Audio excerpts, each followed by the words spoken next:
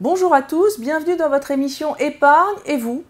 Aujourd'hui, j'ai choisi de vous parler de la fiscalité des livrets d'épargne parce qu'il y a une subtilité. En fonction du type de livret d'épargne que vous détenez, la fiscalité n'est pas du tout la même. Donc voyons ça. Déjà, quels sont les différents types de livrets d'épargne? Eh bien, les premiers, on les appelle les livrets réglementés.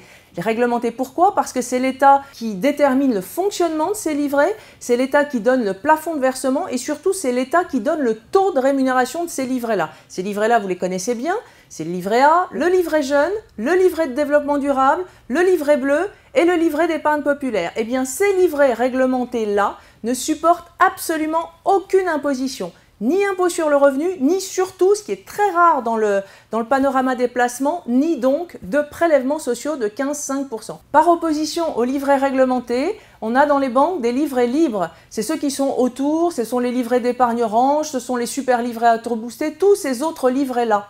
Ceux-là ont une fiscalité bien différente. Déjà, les prélèvements sociaux sont dus sur tous vos gains, prélèvements sociaux de 15-5%, et désormais, vos gains sont également soumis à l'impôt sur le revenu dans votre tranche d'imposition. Ça, c'est assez nouveau. Il y a deux ans, euh, vous, aviez le choix entre payer de l'impôt sur le revenu sur vos gains ou alors payer de l'impôt à un taux forfaitaire de 24%. Ce taux forfaitaire a disparu. Aujourd'hui, sur vos livrets libres, vous payez forcément de l'impôt sur le revenu dans votre tranche d'imposition.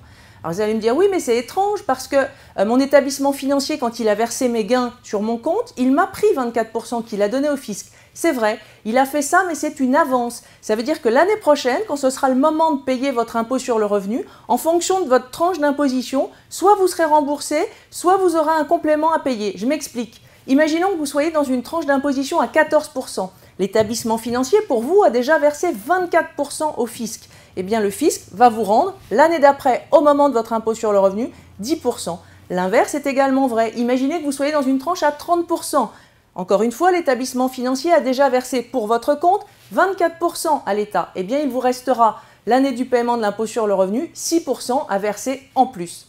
Voilà, cette avance euh, de 24%, tout le monde n'a pas à la faire. Les ménages les plus modestes peuvent être dispensés de cette avance, mais attention, il faut qu'ils le demandent expressément à leur établissement financier avant le 30 novembre. Donc si vous avez des très faibles revenus, pensez à demander à votre établissement de ne pas prélever systématiquement ces 24%. Donc on vient de le dire, ces livrets libres sont taxés au prélèvement de sociaux de 15,5% et à l'impôt sur le revenu. Il y a malgré tout une exception. Si tous les intérêts que vous avez encaissés une année sont inférieurs à 2000 euros au titre de différents produits à revenu fixe. Ça veut dire au titre de vos livrets libres, au titre de vos obligations, au titre de vos comptes à terme, si tout ça, tous les gains que vous avez amassés sur ces différents produits sont inférieurs à 2000 euros, eh bien, vous avez le choix entre payer de l'impôt sur le revenu sur vos gains ou alors rester auto-forfaitaire de l'époque de 24%. C'est à vous de choisir et c'est à vous évidemment de choisir en fonction de votre tranche d'imposition. Si vous êtes dans la tranche à 5,5 ou à 14%, bien sûr, il faudra choisir l'impôt sur le revenu, donc ces tranches-là qui sont plus avantageuses. Et si vous êtes dans des tranches à 30, à 41 ou à 45, naturellement, vous choisissez dans ce cas le prélèvement libératoire à 24%. Ce sera beaucoup plus avantageux. Voilà, nous avons fait le tour de la fiscalité de vos livrets. Il me reste à vous souhaiter une excellente semaine et je vous dis à bientôt.